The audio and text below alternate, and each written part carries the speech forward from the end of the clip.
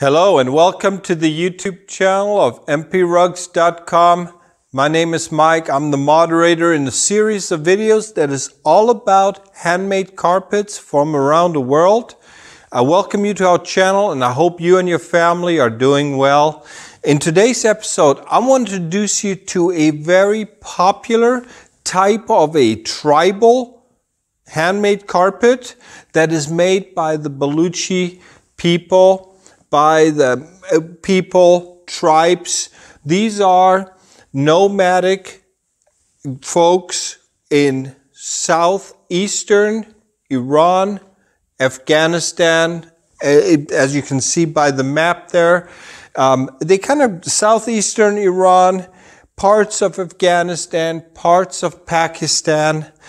This is a nomadic tribe known as the Baluchi and the Baluch carpets. As you can see here, I got three examples that I chose. Very popular with the home decor. Um, folks who are looking for handmade tribal decor items. And what is cool about these rugs is that they're not only 100% authentic. This is handmade, um, ethnic art, uh, artisanship at its best. But the thing is about the Baluchi rugs is that they're also not very expensive. Even though they're handmade and everything, they are nowhere near as expensive as some of the other handmade Persian rugs. They're also very durable. So if you are into tribal rugs. If you like to learn a little bit more about the different types of Persian rugs, please watch this video as I'm going to be showcasing three rugs. These are all made by the Baluchi people, but the one is made in Iran, one comes from Pakistan, and one comes from Afghanistan. So it's all about the Baluchi rugs.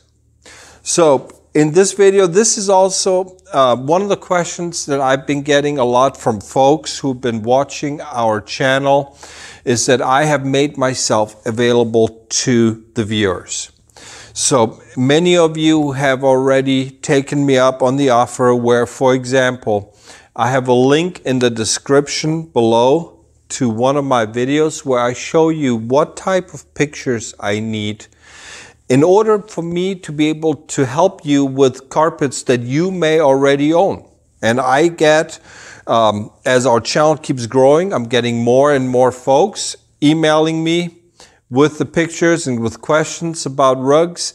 And these are the types of carpets that a lot of you either inherited from family or friends or you may see them in the stores. Um, sometimes people they buy them secondhand in places like eBay and everything.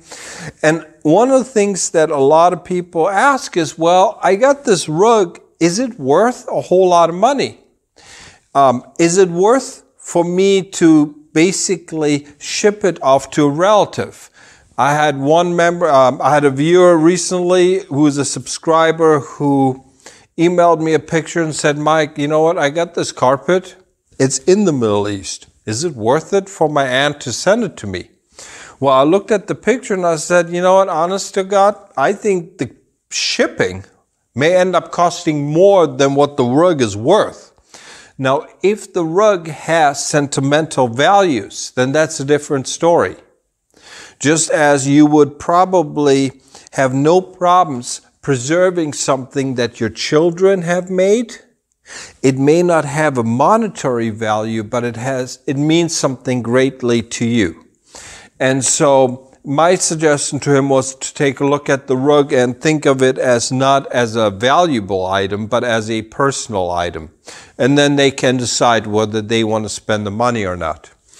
But these are the types of rugs that you typically find. And just to give you an idea, a little bit of a background, the um, as I mentioned to you, the Baluchi rugs, they are they are basically they come from this almost mystical area known as Baluchistan. Baluchistan is, if you look at Google Maps, if you um, yeah, if you Google it, you'll see that it's a region that defines southeast Iran, south Afghanistan, and then also southwest of Pakistan. That region is known as Baluchistan. And the people there are known as the Baluchi. And these are ethnic tribes that are basically, they're very nomadic. They have been, this is a culture that goes back centuries. Apparently, from what I understand, they are also um, basically, I mean, we're all kind of related to each other. My parents are from Iran, but my parents, my mother's side is from Azeri. She is from Tabriz. My father's side is from northern Iran by the Caspian Sea. But basically, there's a lot of movement that has occurred in the last centuries. And apparently, the Baluchi people also originated, also um, centuries ago, apparently, they have come from the Turkish area. But again, this is something I don't know. Um, what I do know is that these are very tribal, very proud people. And the carpets they make are very traditional, very tri, what we call basically the classic example of a tribal rug, but there is a little catch, and that is you have carpets that are mainly made out of wool, but depending on where you get the rugs from and when they were made, you can have sheep hair, you can have goat hair, you can even have camel hair. And we're actually going to be talking about the camels here in just a little bit because there's an actual connection between the camels and carpets, which you generally speaking don't find a whole lot of. But it's really, it's really fascinating to me at least. It's, it's a trip.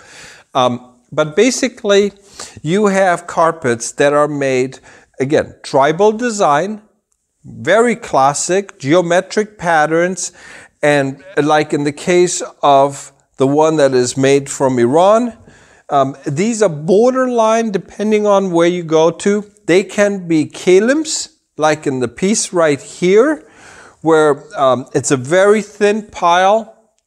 Um, kind of like, for example, for my clients in the United States, if you look at, if you think of a kilim, I oftentimes think of like Native American carpets.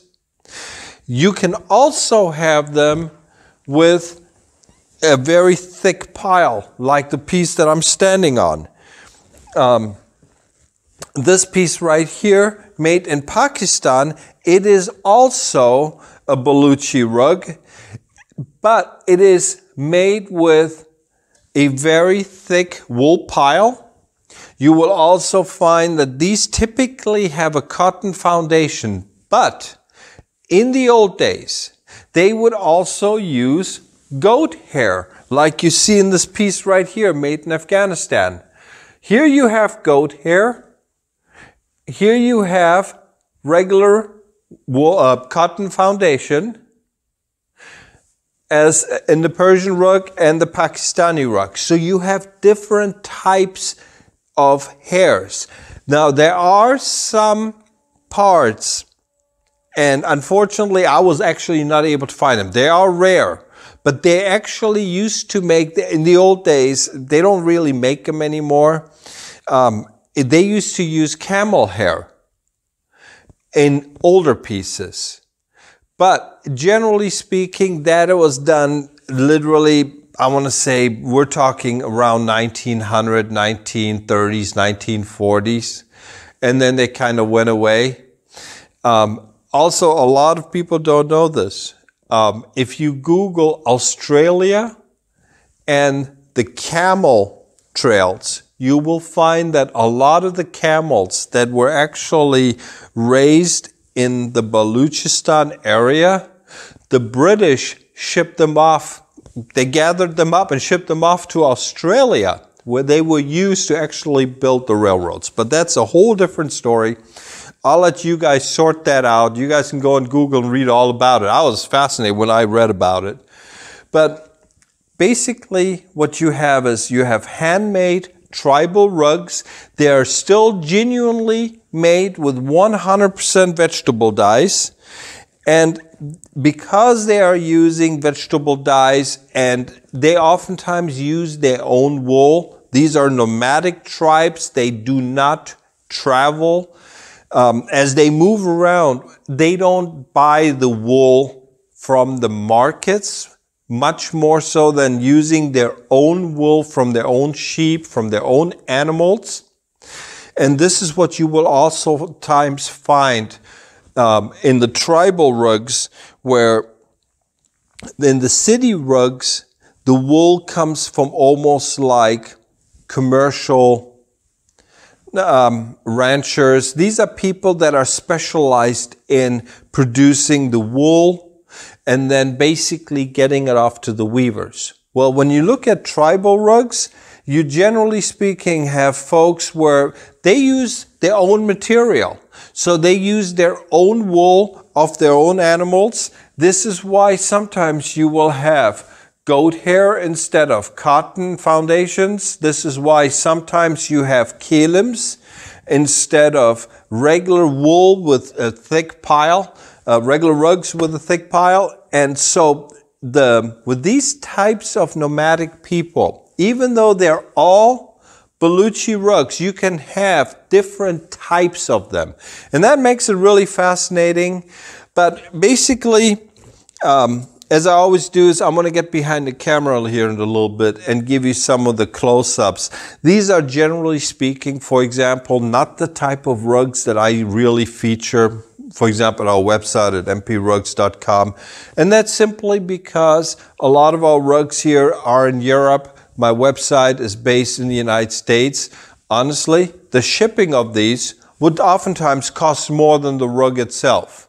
So it's not something that I do. But these are beautiful rugs. And if you are someone if you are into the tribal designs, if you're looking at home decor and you want a down to earth type of feel, these are the types of carpets I have absolute no problems recommending them to you. Now, there are many different types of tribal rugs. I have featured many of them in my other videos.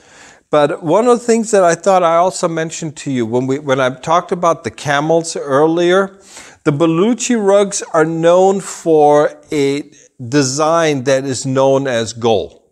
It's a, what they call it a, a camel print.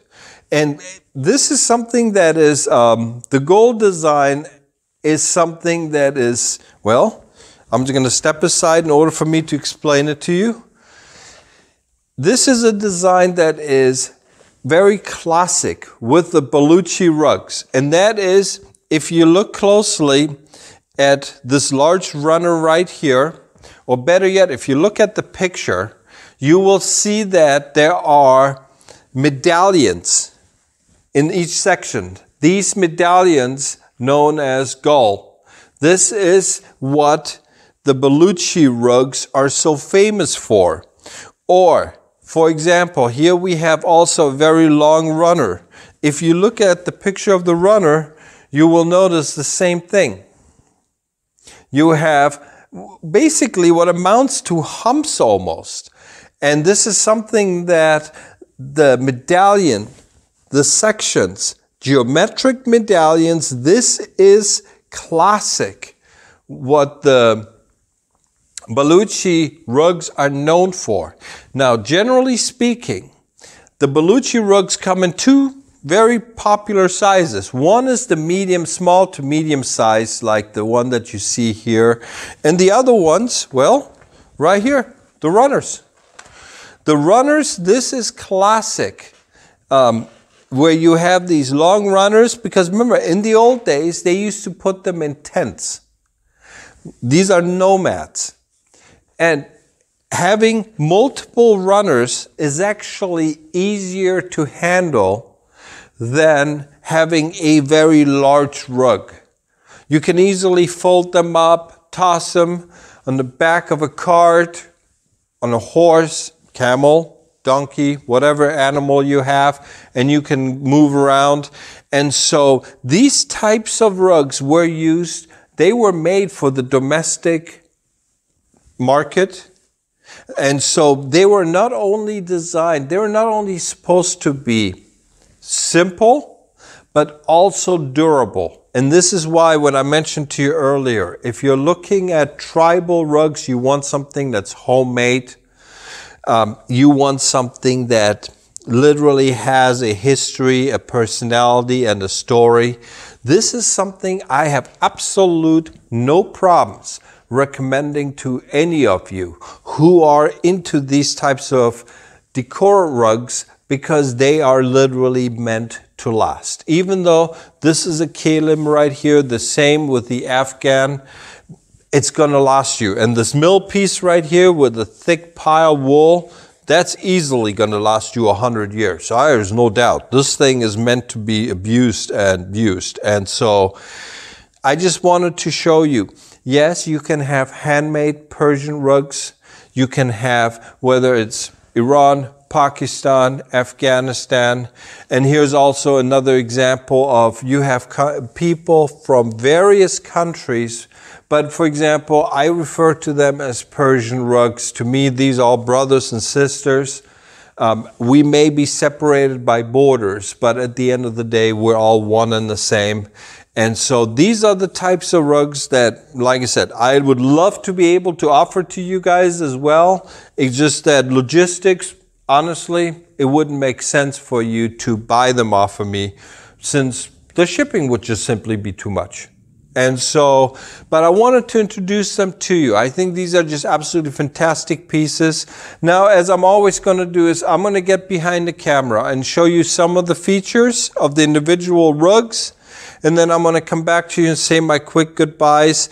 Um, as I always do, as I mentioned earlier in the video, if you have questions about a rug that you may own, feel free to look at the video below in the description. It features, um, I show you what type of pictures I need, the size and all that stuff, so I can quickly take a look at this. I can take a look at your pictures and get back to you quickly. This is something I like to do. I want our channel to be interactive and as it keeps growing, with all the great feedback and support that I have been getting from folks like yourself. Um, it's just been absolutely amazing, and I cannot tell you how grateful I am. And so try to help out whichever way I can. Also, um, I typically do about one or two videos a week. So if you are into Persian rugs, feel free to hit that subscribe button so that you are notified when there is a new video that has been released. And so um, there you go. I'm going to now get behind the camera and show you some of the details. So I'm going to see you again here in just a second. So here I am now, this time from behind the camera, as I oftentimes like to do. And just to give you an idea, here is, for example, you have a beautiful Persian kalim.